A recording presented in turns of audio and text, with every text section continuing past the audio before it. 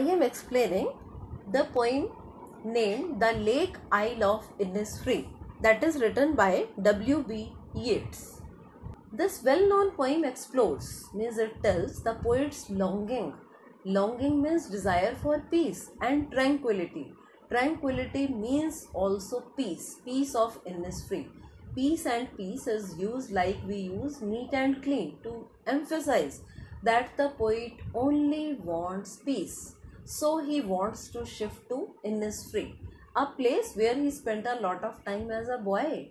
So this poem is a lyric.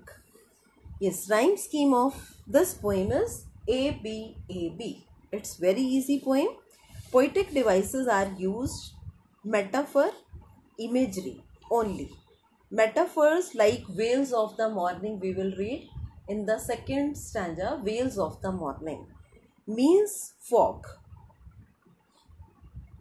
then there are many images like color imagery purple then full of birds here lake water. So he is actually not hearing. Rather he is making images. So two figures of speech are used in this poem. I i stands for the poet. It is a longing of the poet. I will arise and go now and go to Innisfree and a small cabin built there of clay and wattles made. Nine bean rows means the poet wants to go to one special place that is Innisfree, that is small island. He wants to go, which is an island of Ireland. He wants to build a hut there that should be made of clay and wattles, that is slender sticks he has desire to live in that hut. He thinks of living with just making all the things on his own. He wants to have nine bean rows, a hive for honeybee, and live alone to enjoy the bee sound because the total area will be filled with bee sounds means sound made by bees then he says, And I shall have some peace there, for peace comes dropping slow, dropping from the veils of morning to where the cricket sings. Yes, this is nice imagery. The poet says, I want to go because I hope that I will get peace there. and peace comes because peace comes slowly, slowly. Why it comes slowly there? Sorry, because in the nature it comes from the fog when fog comes, cricket sings a song. There midnight is all a glimmer, and midnight can be filled with special shine. And noontime there will be purplish glow.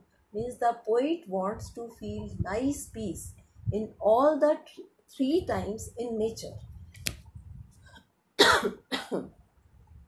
and he hopes that evenings will be filled with the nice songs of the birds, that is, linnet birds.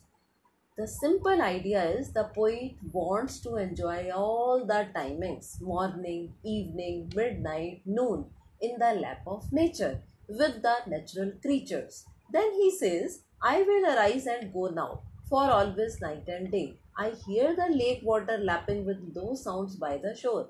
He says, Yes, I want to go this time. I will go means it is sure shot. For means because. Because every time night and day he can hear. Actually he cannot hear because he is in the city. This is nice imagery. Rather he can feel, he can make imagination that lake water is coming with low sounds by the shore.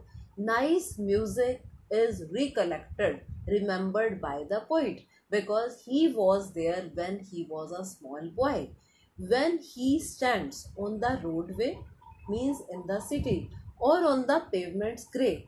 Pavements gray stands for pavements in the noon time because the poet may be just busy in hectic schedule. That's why he wants escape. As he hears it in the deep heart's core he wants to go there from the core of his heart from the bottom of his heart. He hears the special sound of water. That's why he wants to go to Innisfree. His poem is very simple one.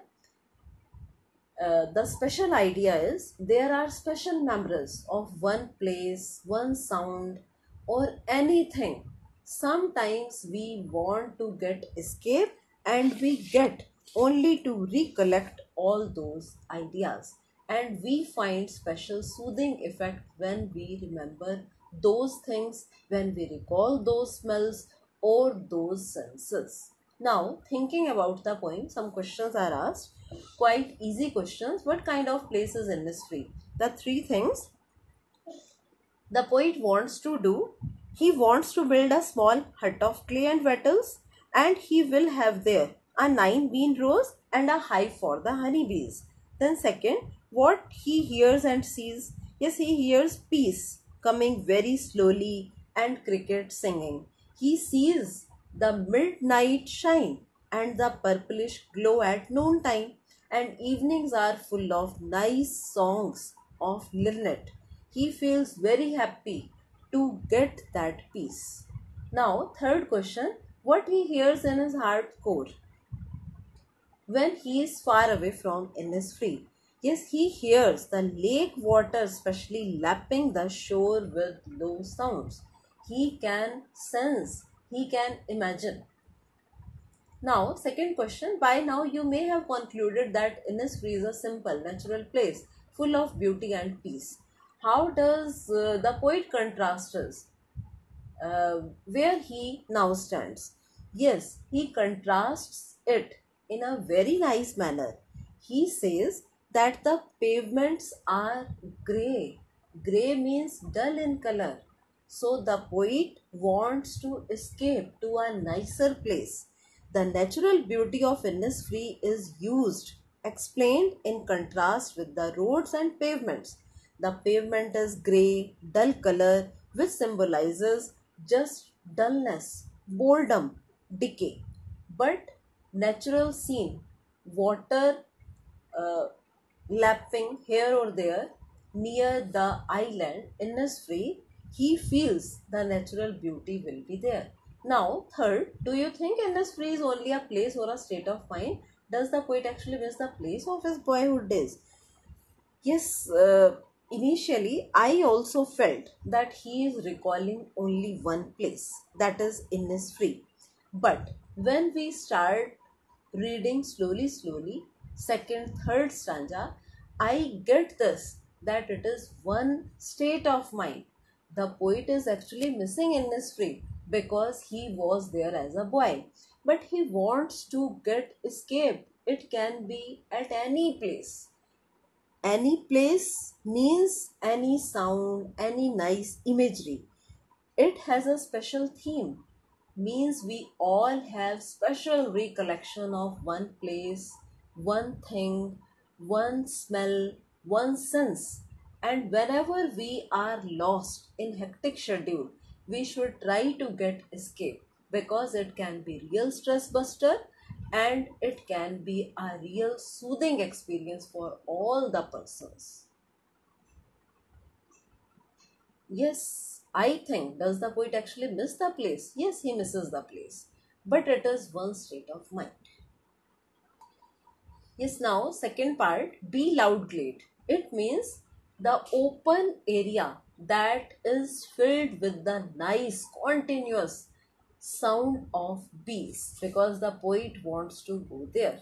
Now second part, evenings full of linnet wings means the evenings he can enjoy or he will enjoy with the coming of so many birds which may be returning to their nests. Now, third, lake water lapping with low sounds. The poet imagines or he feels that he can hear, he can sense the water continuously lapping or tapping against the shore.